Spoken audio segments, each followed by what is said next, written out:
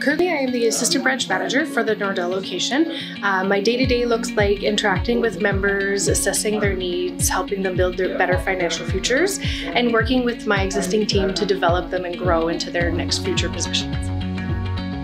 So I've been here eight years now um, and been very happy ever since.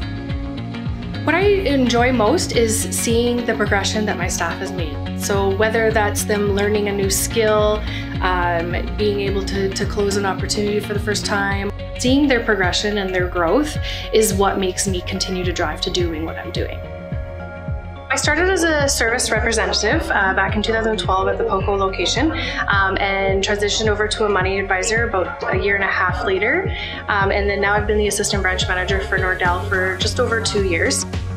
In that time, G&F has given me ample opportunities to kind of expose myself, uh, to expand my knowledge and my network with different opportunities of learning. So currently I am part of the Minerva Women's Leadership Program. We just kind of go through this leadership journey together um, and support one another in learning how to coach, develop, and, and work through this new world that we're in.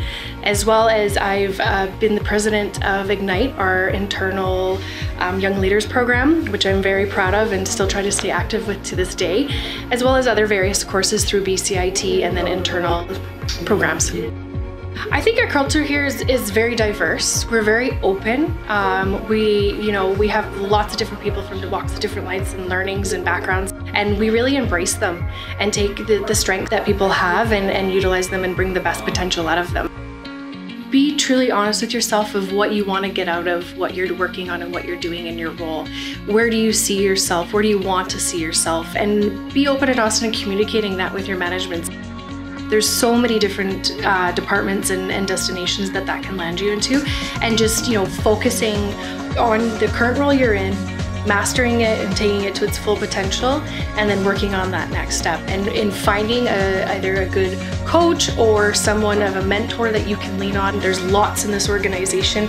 I could name at least a handful that i have worked with personally that have helped me develop and grow into my current role and, uh, and within my career to get to where i am today you know, to me, it's just been exciting this entire time and liberating and knowing that, you know, as each step I'm taking, that the gratitude that I'm seeing and, and also the, the accomplishment I've had and based off of those around me that have helped me get to that next level. So it's, it's been very exciting.